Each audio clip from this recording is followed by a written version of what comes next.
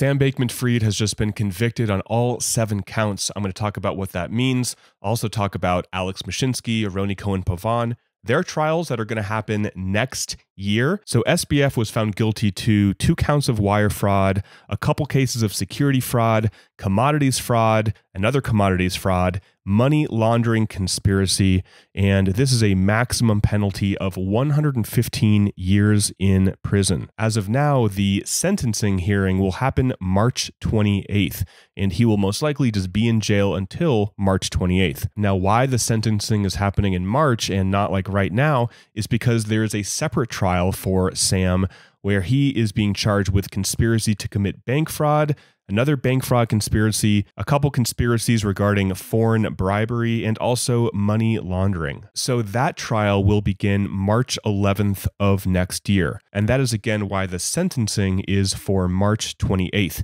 because they want to include all five of those counts see if he is convicted on those as well before he gets sentenced. So let me talk about Alex Mashinsky and his trial that is going to be happening next year. So he has been charged by the SEC, accusing him of violating securities laws, raising billions of dollars through unregistered and fraudulent offers. The CFTC is saying that he violated several U.S. regulations and misled investors. So as of now, Alex's trial will begin on September 17th of next year.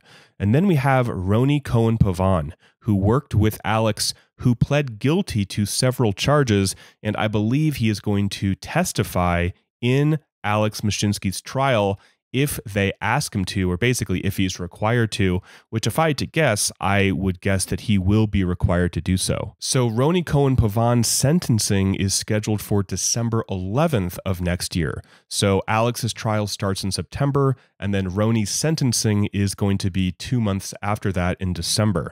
So we still have a while until Alex Mashinsky has to face the judge and possibly a jury, and we'll see what happens with that. If I was Alex Mashinsky's legal defense team, I would be pretty nervous right now, just based on the fact that SBF was found guilty for all seven charges. There are a lot of similarities between the charges brought to SBF and also against Alex Mashinsky securities fraud, commodities fraud, wire fraud, conspiracy to commit securities fraud. These are also things that SBF was charged and ultimately convicted of. There are slight differences between exactly what they were charged with, but there's a lot of similarities here. Now, before I go, one thing I found interesting listening to Tiffany Fong's update on the SBF trial is the judge said that just SBF posting on Twitter that everything was fine, even though he knew that everything was not fine, that there was a massive hole in their balance sheet, that they could not satisfy the withdrawal requests.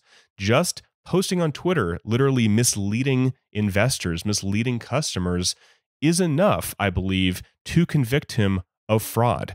So that is what Tiffany said. She heard that from the judge, I think yesterday or today in SBF's trial. And when I heard that from Tiffany, I was like, okay, well, we kind of know that Nuke, Alex, and a lot of the management team were basically saying everything's fine.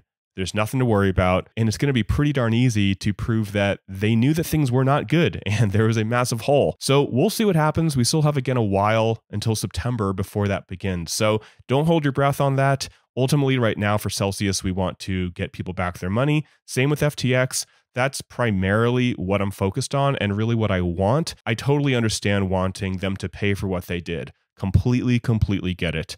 I am more focused on people getting back their crypto, getting NewCo stock in Celsius, maybe FTX 2.0 in FTX, and people getting their life back. I'll keep you guys posted with everything that comes out regarding this trial and SBF's trial in March or his second trial in March. Till next time, guys, talk with you soon and bye for now.